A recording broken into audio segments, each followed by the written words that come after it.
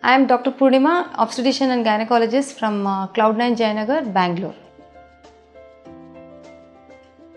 Blood sugar during pregnancy is controlled by three ways. One is exercise, two is diet, and third one is the medication. Usually, diet and exercises are first tried if the blood sugar do not come under control with these two, only then the medications are started. Now, when we come to exercises, exercises as in she needs to go for about half an hour to 45 minutes of walking every day.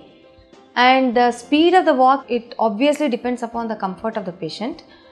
And there is something known as isometric exercises. Isometric exercises are done in the sitting posture at home.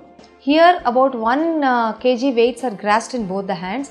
And uh, there is flexion of the arm at the elbow joint flexion and extension a continuous movement about uh, 3 to 4 sets every day is done and uh, each set is actually stopped when the patient feels slightly tired and uh, she has some amount of shortness of breath. These are isometric exercises.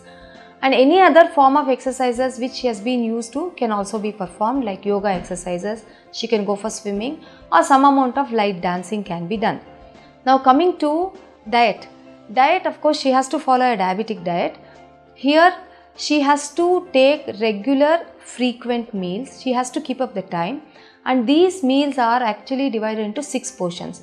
One is breakfast, lunch and third one is dinner and in between breakfast and lunch, in between lunch and uh, uh, dinner and then sometimes late uh, midnight snack. Here the carbohydrates should constitute about 50 to 55 percent and uh, proteins about 20-25% and fat about 15% and in between snacks usually should consist of something like whole wheat bread and some biscuits which are devoid of sugar. And uh, direct sweets will have to be avoided.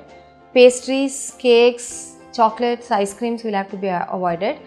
And uh, sugar has to be brought down. Rice content has to be brought down.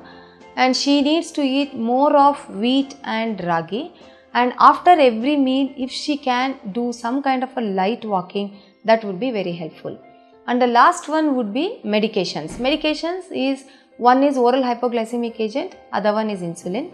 Insulin was given before for all the diabetic patients but now oral hypoglycemic agents like metformin and glipizide are being used. And the doses of these are adjusted according to the sugar of the patient